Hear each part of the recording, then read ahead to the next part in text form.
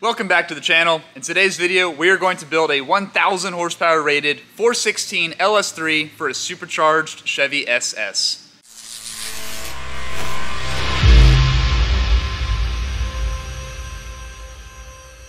For this build, we are starting with a brand new aluminum LS3 engine block as our foundation.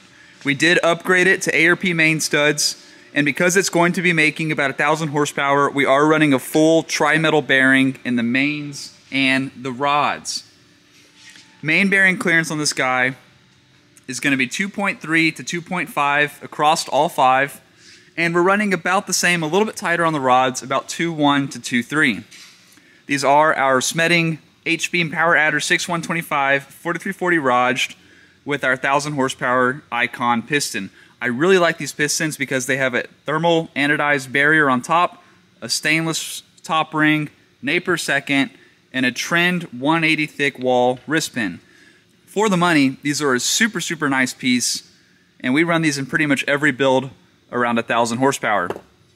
Of course, we're going to run our Smeding 4-inch stroke. It's a 4340 forged crankshaft, 58X reluctor wheel. We're doing a billet timing set with a roll bearing on the back. These roll bearings help reduce internal friction in the engine and also give it a little bit more support and strength as it runs against the thrust plate. All of our high performance wet sump builds, we run a Melling 10295 oil pump. And this is a standard volume pump, but we have the option to swap it to a Copo high pressure spring. The LS 2 galley oil architecture already has substantially higher volume than is actually necessary one of the things that Dart changes is they reduce the volume. And that's in a high performance, crazy aftermarket block. So in any build, we stick with a standard volume pump with a H-beam rod because the rod's not gonna flex. We're not having a lot of rod bearing distortion. And so standard volume pump is more than adequate, but we want the high pressure because it's gonna turn a lot of RPM. Motor's gonna run a custom blower camshaft and everything has already been blueprinted and balanced, so it is time to start stuffing the beast.